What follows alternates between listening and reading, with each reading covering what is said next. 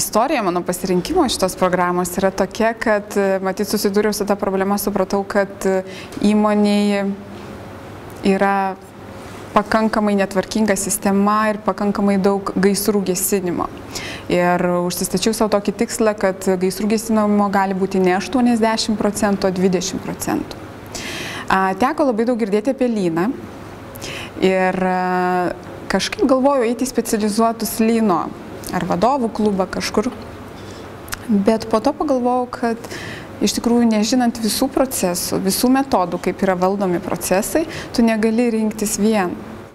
Dirbant įmonėje, matai, matai, kaip įmonė vystosi ir e, yra tam tikri etapai, kada, kada kažkoks pasamoninis jausmas sako tau, kad, e, kad reikia kažką tai keisti. Reiškia. Ir, ir iš esmės e,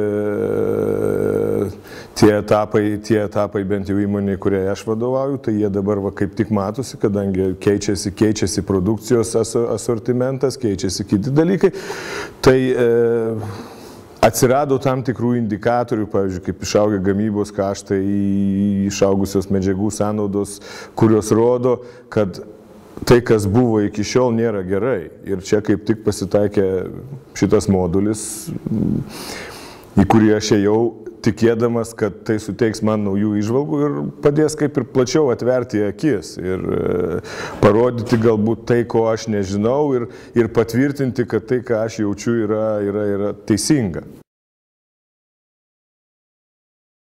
Ypatingai daug gavome patarimų, ką kur kada daryti, kur kaštus taupyti, kur geriau investuoti. Taip, dabar belieka su tomis žiniomis susitvarkyti.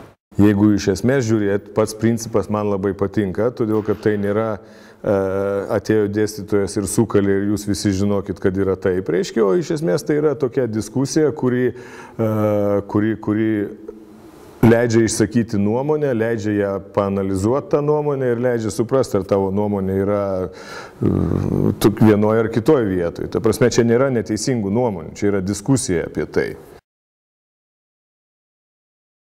Aš patarčiau neabejoti, reiškia. Aš, ta prasme, pats labai abejojau dėl galbūt dviejų priežasčių, reiškia.